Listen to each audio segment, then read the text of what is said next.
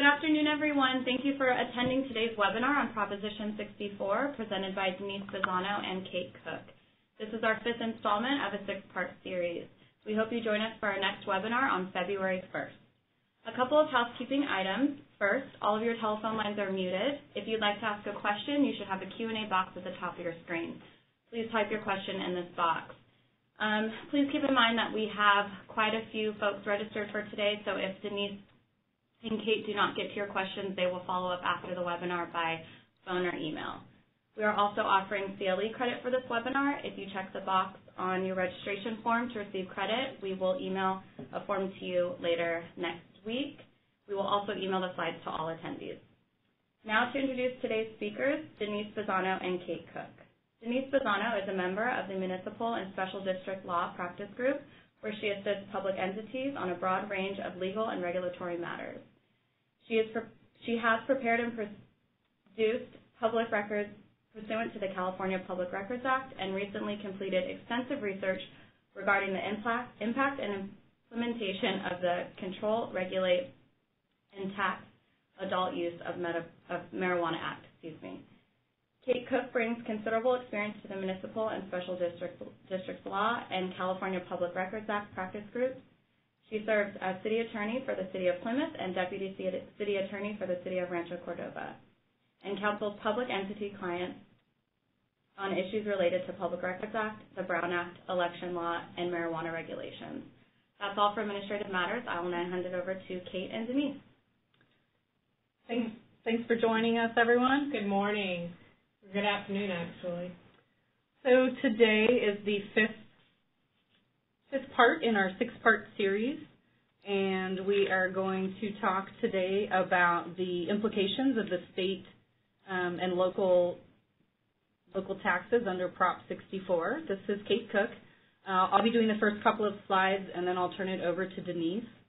And the first slide is just kind of an overview of Prop 64. If everyone's been joining us previously or just reading the news, everyone has a, a general idea of what Prop 64 did. It legalized the possession and use of recreational marijuana um, for adults 21 and over. It legalizes cultivation of fixed plants for personal use and it creates the regulatory and um, licensing structure for commercial activities. It also creates a state marijuana tax, an excise tax we're going to talk about, a cultivation tax, and it permits local entities to enact their own taxes. Um, it also establishes the criminal and administrative enforcement standards, including, including the um, various enforcement standards that the Board of Equalization can implement uh, related to taxes. And Prop 64 passed by 57%. Uh, that passage rate was a lot higher in some counties. Um, but, it, you know, the, the implications of that are that a lot of local municipalities are now looking at um, creating additional regulations or changing the regulations on marijuana businesses and activities within their jurisdiction, and taxes are playing a big part of that. Now, in 2015, the revenue from just the medical marijuana industry, from the dispensaries, was around 58 or 60 million dollars in California. I believe for 2016, that's expected to be about double. Um, and as we all know, a major component of Prop 64's you know, advertisements and the arguments in favor of passage were related to the tax tax revenue that it might generate. Um, hundreds of millions of dollars and up to one billion dollars in tax revenue is what everyone was hearing. It's what the legislative analyst office in um, Sacramento has predicted. We will see how that plays out. Um, but one billion dollars, it's a lot of money in tax revenue for California. It's it's still less than 1% of the state's budget, but it's still a lot of money. So today we're going to cover, you know, how that money is going to be generated, where it's going to go, and um, then also how local jurisdictions can get in the game. Now we're going to slide three. The overview of um, Prop 64 taxes involves, there's three general components. There's a cultivation tax, an excise tax, and a sales and use tax. Or that's just the general state sales and use tax that will apply to certain parts. Um, is everyone seeing slide three on their screen? Okay. And we're going to cover each component in the in uh, of Prop 64, starting with the excise tax, which Denise will discuss. All right. Good afternoon. Uh, this is Denise Bazzano, and I'm going to cover the excise tax, the cultivation tax, as uh, well as some other uh, regulatory powers of the board of equalization, and what the mar- marijuana tax fund covers. So under the AUMA, um, there is a taxation section that adds Part 14.5, the Revenue and Tax Code, specifically sections 34010 through 34021.5. Um, the excise tax specifically is covered under section 34011 of the Revenue and Taxation Code. Uh, the excise tax is effective January 1st, 2018. It will be at a rate of 15%. It will be imposed on purchasers of marijuana and marijuana products, Uh, even including medical marijuana.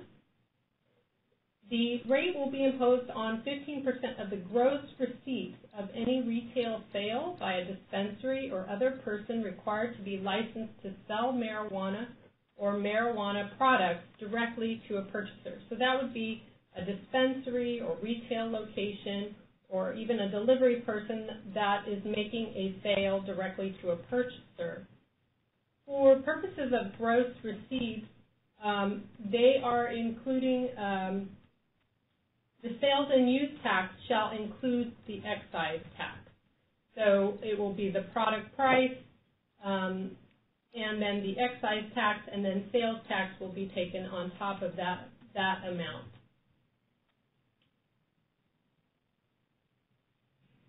The uh, licensee is expected to collect the tax and remit it to the Board of Equalization that's different from the cultivation tax, and we'll talk a little bit about that later.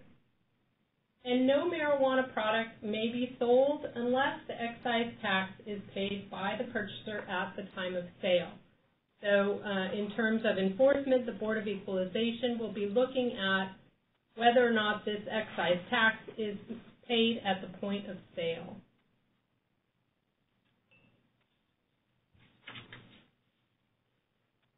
and this tax will be remitted to the Board of Equalization on a quarterly basis, similar to the cultivation tax.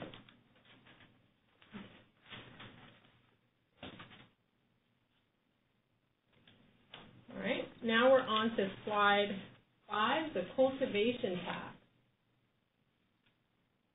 So the AUMA also imposes a cultivation tax on all harvested marijuana that enters the commercial market.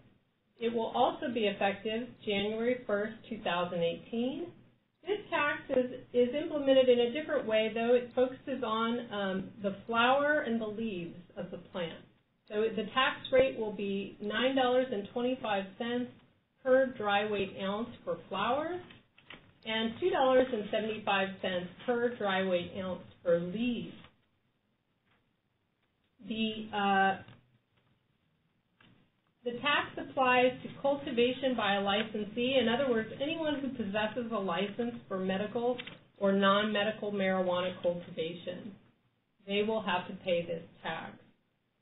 It's due after the marijuana is harvested. Um, a licensee will be responsible for paying the tax, and all marijuana that leaves a cultivator's premises, except for the waste, shall be presumed to be sold and is thereby taxable. So if you have marijuana leaving your cultivation site for any reason, the Board of Equalization will presume that it's for sale and it's subject to the taxation rate. Um, the rates are may be adjusted annually by the Board of Equalization um, in order to reflect the fluctuation in the relative price of flowers to leaves. In, and after January 1st, 2020, the Board of Equalization can adjust the rates uh, based on inflation changes. In this case, the licensee is responsible for paying the tax. That's different from the excise tax.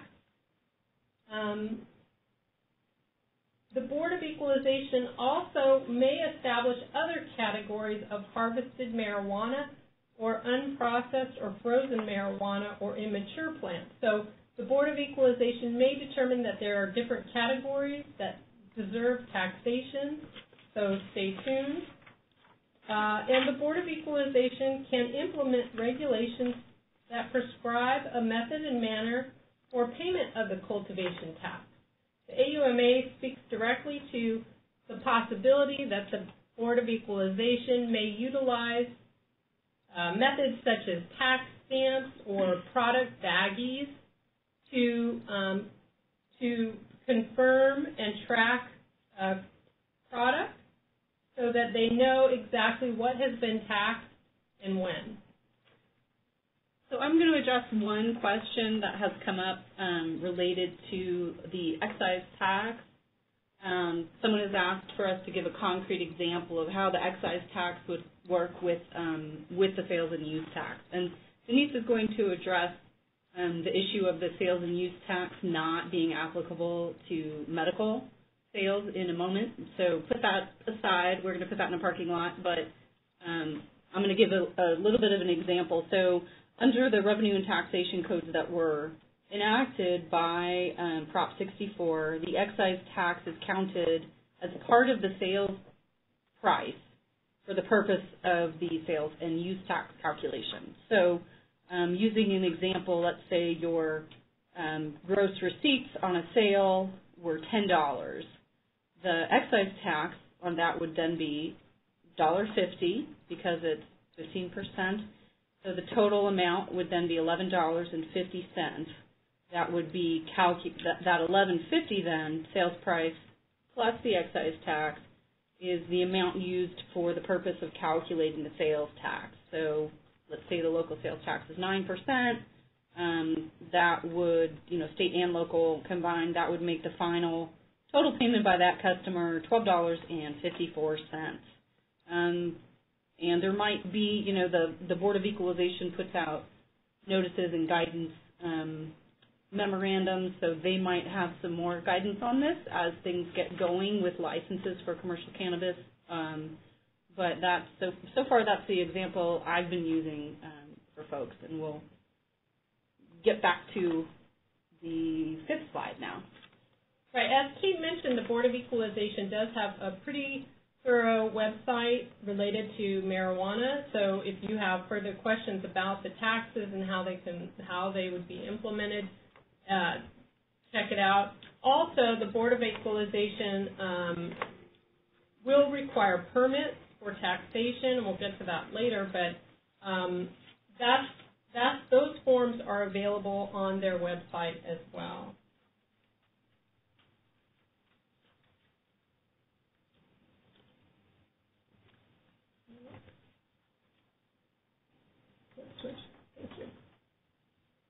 So other tax regulations, um, the AUMA um, excludes sales and use tax on retail sales of medical cannabis, medical cannabis concentrate, or edible medical cannabis products, or topical cannabis. Those products are specifically excluded from sales and use tax under the AUMA. Sales and use tax will apply to non-medical marijuana, and that can be either at the state level or local level. Um, the excise and cultivation taxes are in addition to any other tax imposed by a city, county, or city and county. The, um, the prohibition on sales tax related to medical cannabis products is effective November 9th, 2016. Um, so in other words, as of November 9th, there shouldn't be any sales and use tax on retail sales of medical cannabis, medical cannabis concentrate, edible medical cannabis products, or topical cannabis. Um, Kate and I were discussing this beforehand, and the general consensus is that this was an error on um, the drafters of the AUMA part on their part because um, everything else is effective January 1st, 2018, but this this there was no date specific for this prohibition, so we think it was an oversight. Um, and the, as Kate mentioned, the excise tax would be included in calculation for the sales and use tax.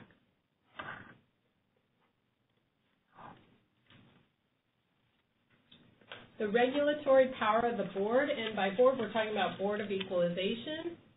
Um, the Board of Equalization is the designated agency to administer and collect the taxes imposed by the AUMA and uh, they are authorized to prescribe, adopt, enforce regulations relating to um, the administration and enforcement of taxes under the AUMA.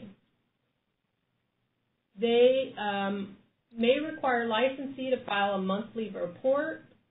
Uh, they are also going to be requiring permits from anyone who is supposed to be paying these taxes um, and that permit can be obtained from the Board of Equalization.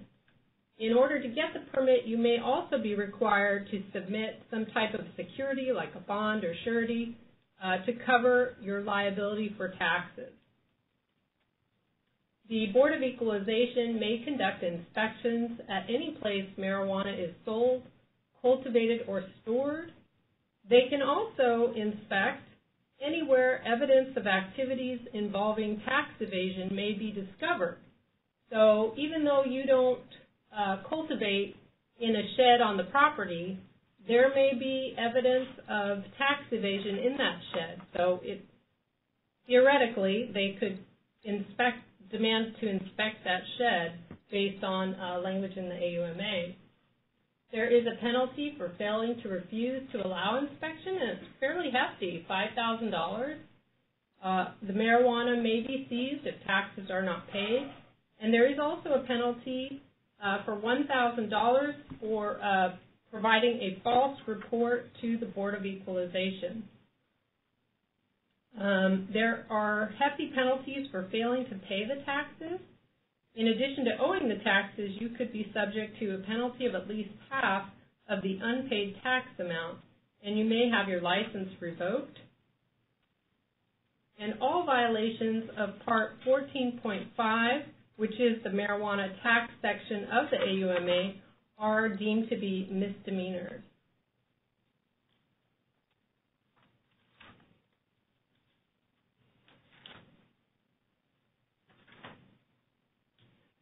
The AUMA creates the Marijuana Tax Fund. It will consist of all taxes, interest, penalties, and other amounts from taxes created under the AUMA and or paid to the Board of Equalization. From um, this fund, there will be a special trust fund established solely to carry out the purposes of the AUMA. It is not considered general fund money all um, all funds deposited will be, and including interest and dividends, are um, continuously appropriated for the AUMA. So they can't be spent on anything else but uh, the AUMA. Um, funds will be used to pay first the costs of state agencies that were um, uh, that were given the task of implementing the AUMA and then there are specific funds that were created in the marijuana tax fund that have uh, a specific number assigned to them. So first, the state agencies will be paid, then these specific funds will be paid out, and then finally, if there's any money left over, there will be um, creations of sub-trust accounts that will be funded. The state controller disperses the funds and as I said, it will be first paid out to the state agencies, um, which include the, uh, the Bureau of medical marijuana, the Department of Consumer Affairs, the Department of Public Health, Department of Fish and Game, State Water Resource Control Board, Department of Pesticide Regulation, and the laundry list continues. So there's a lot of state agencies that will be in line. They get to recover their reasonable costs incurred, and um, so it remains to be seen what will be left over once those state agencies are paid. But um, assuming there's enough money to go around, uh, they, the AUMA also prescribes specific uh, entities that will get specific amounts of money, including $10 million to public universities to study impact. And those impacts are, um, you know, they may include public safety issues, impacts on public health, use of marijuana rates, et cetera. So uh, the large chunk of the money will go to public universities to study uh, marijuana impacts. Then $10 million in the first year, and then $10 million every year, additionally every year thereafter for a $50 million max, um, is going to be given to the Governor's Office of Business and Economic Development, and they're going to administer community reinvestment grants um, so that those grants will be for mental health issues, job placement issues, substance abuse programs, etc. These grants will be issued to local health departments and at least 50% to qualified community-based nonprofits. An additional three, well, sorry, a $3 million to CHP to establish protocols to determine if a driver is impaired this will be a big issue because as uh, marijuana is legalized, we need a surefire test to determine whether or not a driver is impaired. So I personally was happy to see that the CHP got some of the money to establish protocols and um, a procedure for testing to determine whether a driver is impaired. $2 million is specifically earmarked to go to UCSD to study marijuana as a pharmacological agent. So those are some examples of a specific funding. Whatever money is left over is going to be uh, put into the subtrust account. 60% will go to the Youth Education Prevention, Early Intervention, and Treatment subtrust account. Um, this is um, Then 20% will go to state and local government law enforcement trust sub, sub-trust accounts, and then an additional 20% will go to the environmental restoration and protection sub-trust account. Most uh, local agencies are concerned with the 20% that they could be getting uh, through grants under the uh, state and local government law enforcement sub-trust account. Um, this this 20% will be split between the CHP and the Board of State and Community Corrections, who will be uh, parceling out the funds under uh, under the 20%. CHP will be allowed to conduct training programs for detecting, testing, and enforcing laws against driving under the influence with that money, and they will also uh, fund internal CHP, pro CHP programs and grants to local governments for education, prevention, and enforcement of laws related to driving under the influence uh, for alcohol and other drugs, including marijuana. So um, it's not clear how much money will be uh, parceled out to local governments for um, these grants. So we'll see, uh, you know, we'll know in a few years how much money cities can and local governments can expect to receive under these grants. But um, as we've mentioned before, the Board of State and Community Corrections will be um, distributing the money, and the AUMA specifically provides that they cannot make any grants to local governments which have banned the cultivation including personal outdoor cultivation or retail sale of marijuana or marijuana products. So if you if you're city or county has banned uh, cultivation, outdoor cultivation, because of course you can't prohibit indoor cultivation of six plants, um, or retail sale of marijuana or marijuana products, you won't be eligible for that 20% of whatever amount is available for these grants.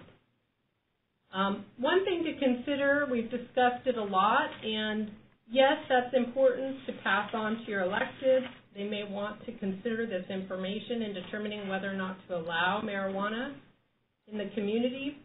Um, but the flip side to this is that there may be some federal grants that earmark um, compliance with federal laws, which would prohibit any marijuana in the community because, of course, we all know that marijuana is illegal under federal law. So it's something to consider, but you should also consider the, the federal implications as well. Thanks, Denise. Okay, we're going to move on now to the second half of the program and talk about local taxes.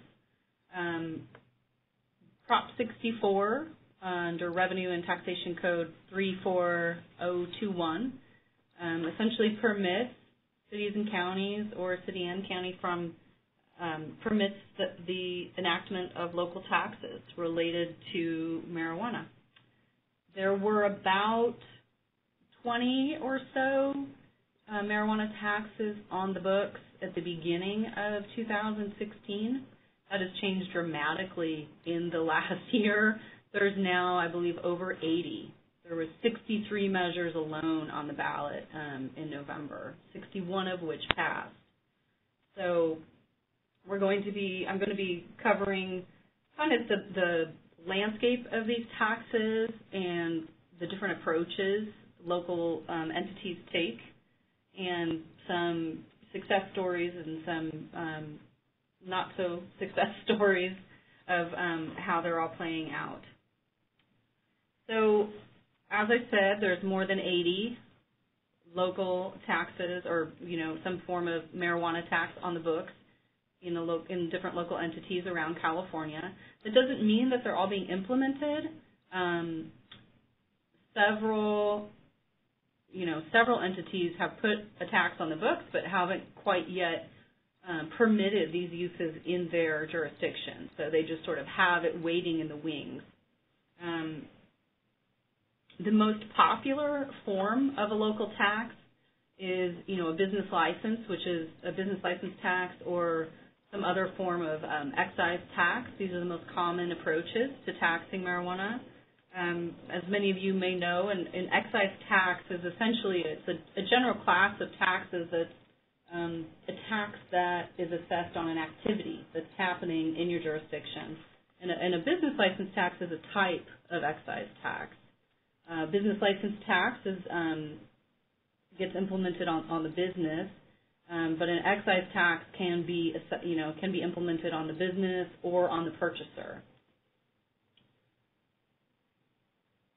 most cities um, or counties have gone with the business license or excise tax approach, and the percentage on gross receipts is a is a popular one.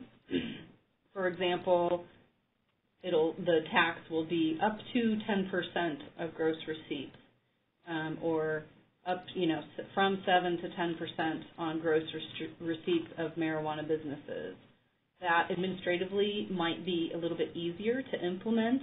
Um, and, and, these taxes, you know, can be imposed for revenue purposes. Um, and as Denise mentioned earlier, the AUMA does prohibit sales and use taxes on the retail sales of medical marijuana. So, in general, the business license tax or excise tax is kind of the way everyone's going. There are some other approaches.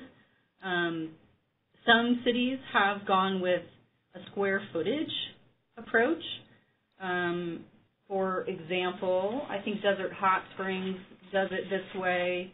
Um, Monterey County recently passed um, a tax, and that one has a few different approaches. They do $25 per square foot for cultivation operations, $5 per square foot for nurseries, And then for other marijuana businesses, they implemented a 10% tax on gross receipts. Um, we have heard from some industry folks that the square footage approach is not favorable to them because it can really impact how they set up their business. Um, you know, does that square footage mean just the square footage where the marijuana is being grown? Um, does it count if you're stacking it on top of each other?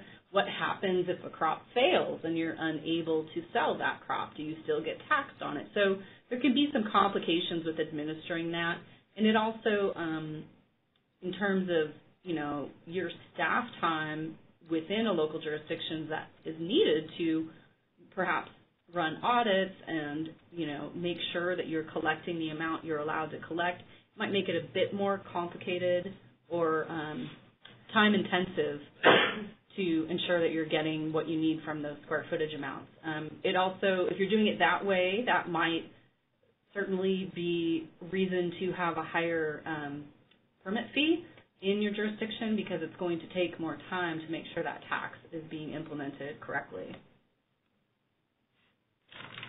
And also business license, um, you know, taxes do allow for criminal penalties in the form of fines and fees that if they're not paid. Um, just one more thing to note.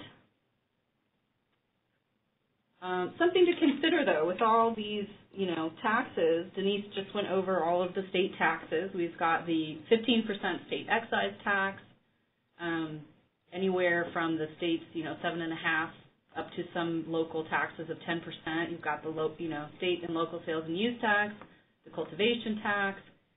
So all of this could add up to a cumulative tax rate on marijuana, at least recreational marijuana, of up to 35%. Uh, the industry has been pretty vocal about this being perhaps a problem.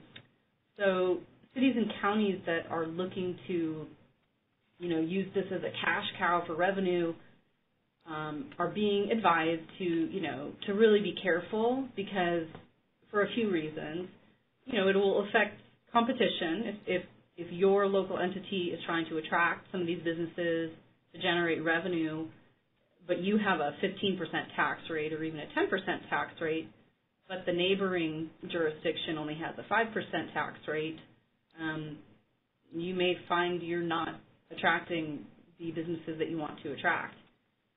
Additionally, there's um, general consensus that if the tax rates are too high, it will simply, you know, stimulate the illicit market or allow it to continue because folks won't want to join the legitimate um, marijuana world if they're going to be have, having to pay so much in taxes. Um, many cities and counties that have passed taxes are putting a range in their ballot language, you know, from 7 to 10 percent, from 2 to 10 percent, so that they then have the ability, or you can just put up to 10 percent. Then there's the ability of the local jurisdiction to adjust for market conditions or adjust for competition and make sure that the tax rate that's being implemented makes the most sense and achieves all those things that the jurisdiction wants to achieve, including, you know, preventing the illicit market.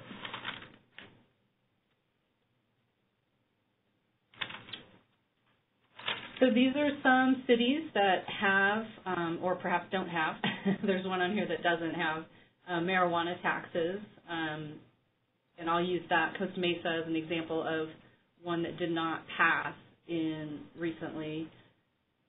Sacramento has a tax rate of about 4%. Um, Sacramento attempted to pass a special tax this past election um, cycle, but it did not it did not get approved, so their general tax of 4% on these businesses is still in place. It raises about $3 million um, in revenue from about, I think, 25 to 30 dispensaries in the city. Um, in Davis, California, they have passed an up to a 10% of gross receipts tax on recreational only.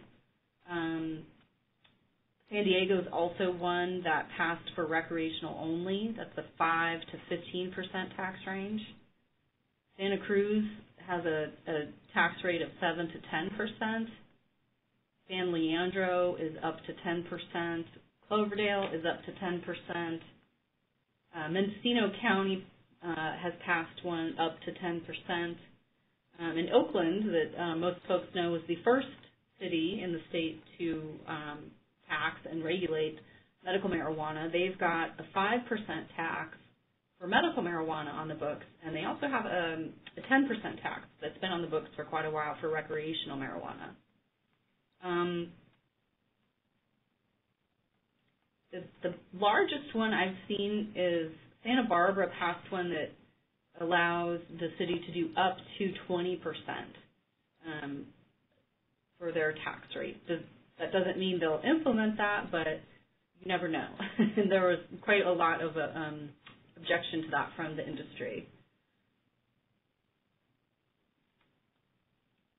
And in terms of what kind of revenues come from this, um, you know, an example of so Harborside, which is the largest, last I checked was the largest uh, medical marijuana dispensary in California, and I think perhaps in the country.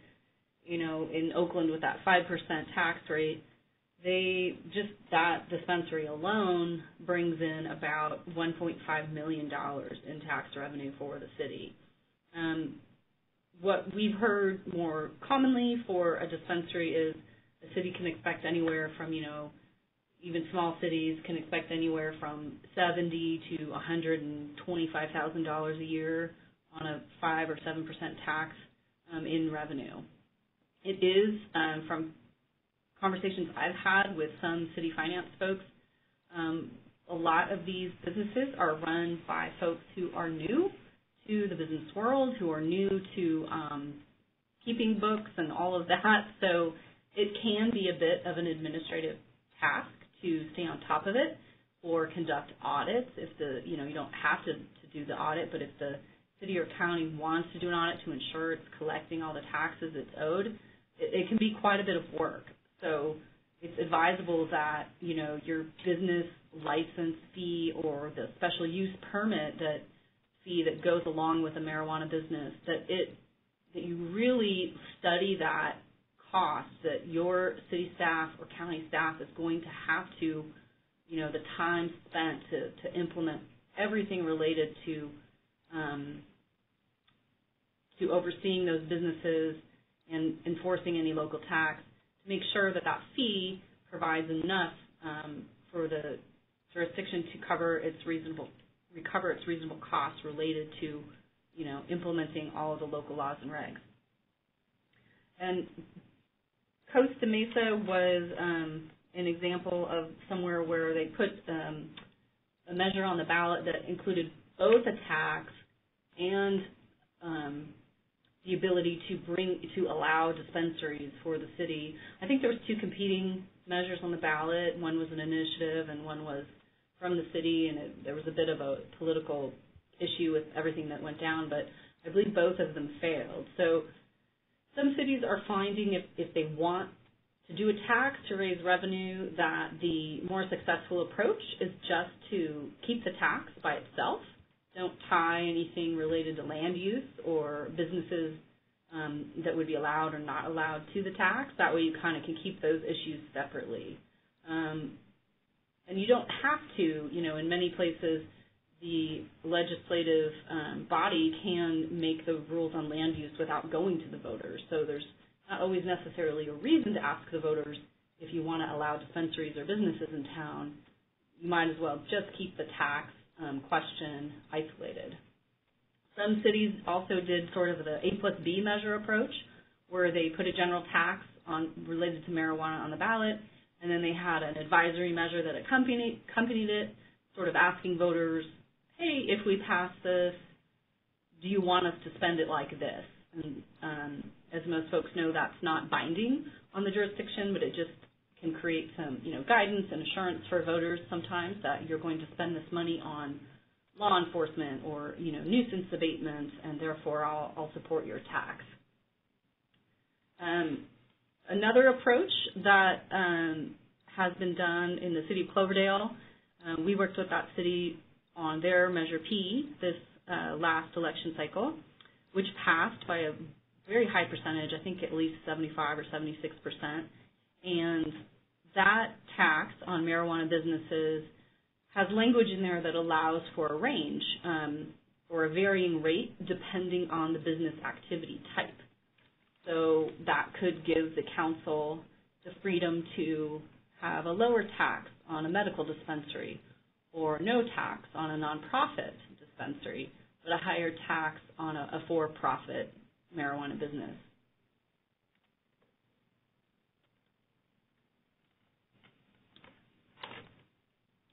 So getting a tax on the ballot.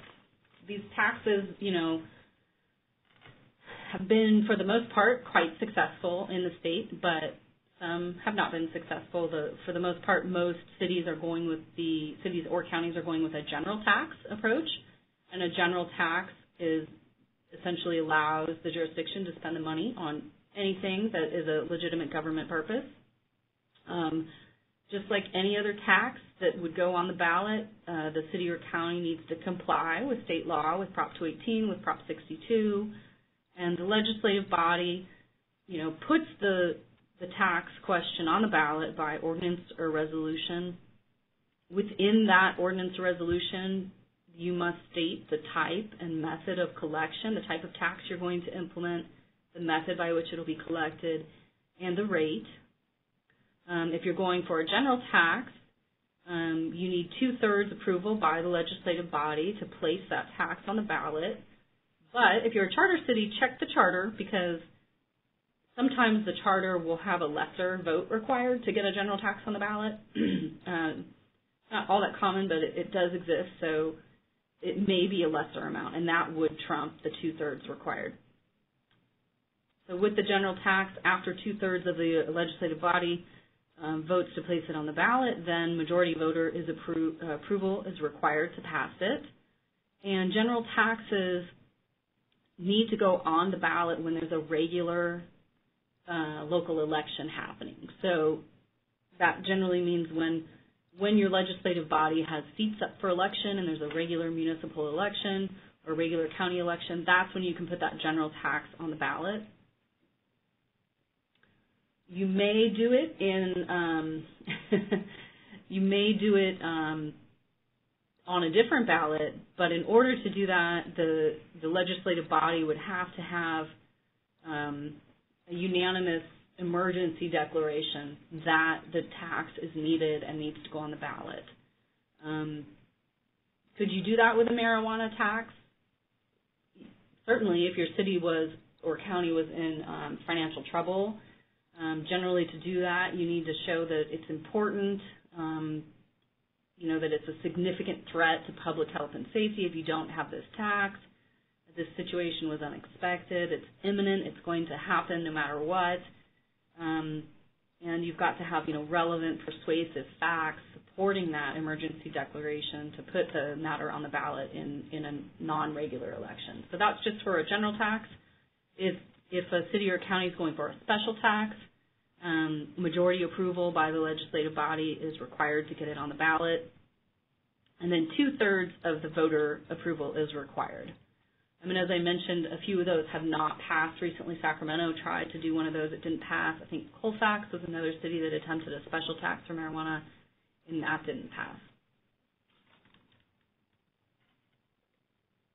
So ballot language. There's all kinds of options for the ballot language, but there are a few requirements. Um, you must state the tax rate and the duration of the tax.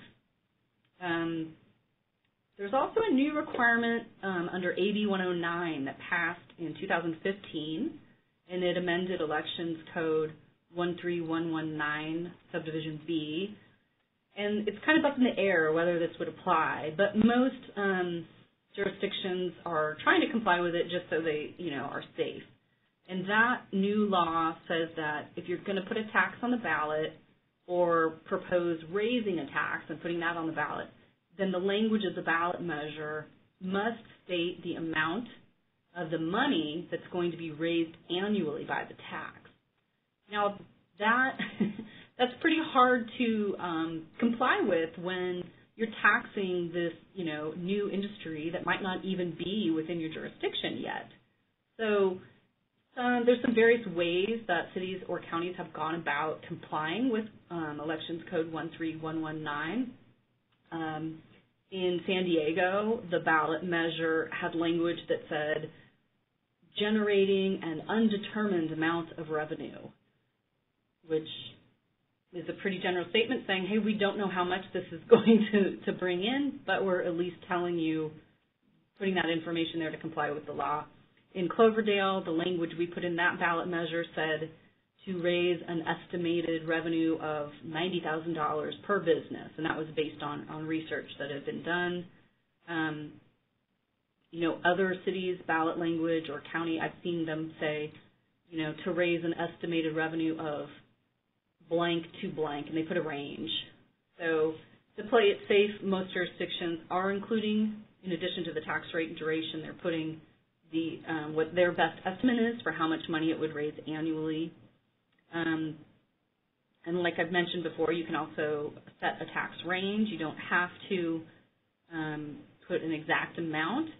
And if you can come up with any rational basis for doing so, you can also allow for different rates for different types of activities, a different rate for cultivation, a different rate for dispensaries.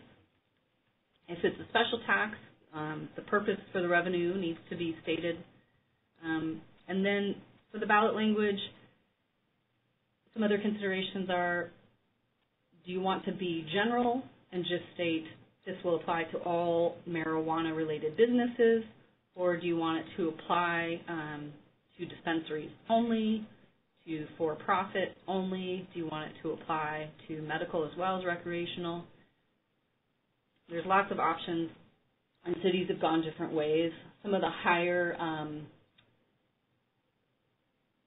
some of the ballot measures that have gotten the, the you know, the larger, largest amount of voter approval have been those that have been for recreational only.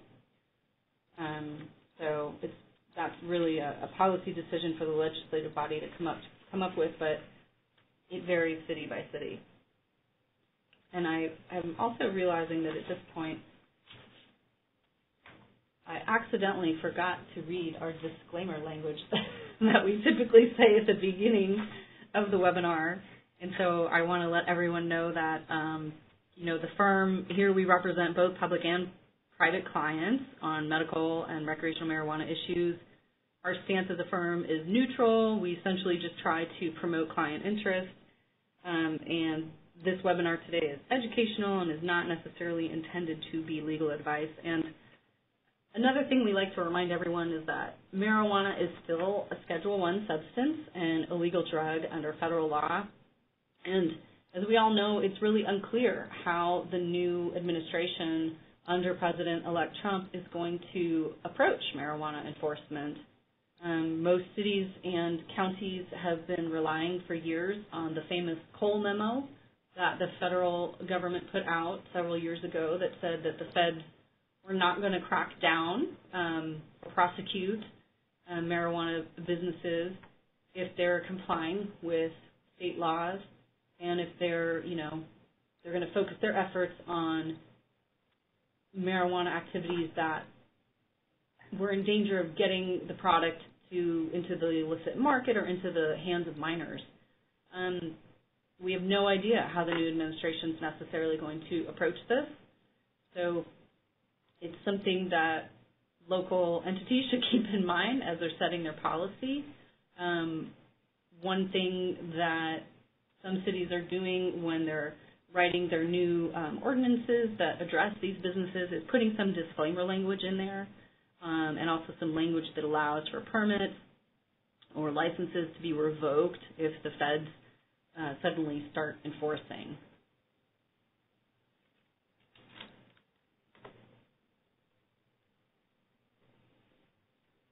So we do have a few questions that we're going to try to address quickly before we wrap up and let everybody go finish their lunch. Um, the first question is, would a local government be eligible for the 20% fund if it allows only delivery in its jurisdiction? Um, I don't think so because Right. that the revenue and taxation code that says you're not going to be eligible for that grant money says um, you won't be eligible if you prohibit retail sales, and retail sales includes dispensaries. So if you ban dispensaries in your jurisdiction, um, very likely you're not going to be eligible for that local grant money. Again, we have no idea how much money that fund's actually going to have because it's almost last on the list to be getting all of this money. Right. Yeah, so Kate, I, I would agree with Kate's Uh, assessment, and that specific section can be found at Tax and Revenue Code section 34019, subsection F3, paragraph C, and it says specifically, the board shall not make any grants to local governments which have banned the cultivation, including personal cultivation under section 11362.2 subsection B3 of the Health and Safety Code or retail sale of marijuana or marijuana products pursuant to Section 26200 of the Business and Professions Code or as otherwise provided by law. And I think the intent there was to encourage um, local agencies to regulate rather than prohibit. And so this is kind of the carrot that they're dangling in front of local agencies to regulate rather than prohibit marijuana. So another question that we've gotten is the dif- what is the difference between a special tax and a general tax? Um, great question. A general tax is a tax that raises general revenue for a city or county's general fund, and that revenue may be used for essentially any legitimate government purpose, even if the tax question says for the purpose of um, raising revenue to, you know, enforce, you know, police or improve parks or fix streets, um, you still, at the end of the day, can use that for any government purpose. A special tax, which requires, um, another difference is a general tax only requires a, majority approval by voters in order to pass. A special tax requires a two-thirds approval by voters to, pa- to pass. That's a, a pretty big difference. And another difference is a special tax is a tax that limits what the money can be spent on to the purpose stated in, in the measure. So if you're just raising revenue to support law enforcement activities related to marijuana and the money is going to be restricted in that way, um, and that's what the, the ballot measure says, and it would likely be, you know, that's really more of a special tax that needs two-thirds voter approval.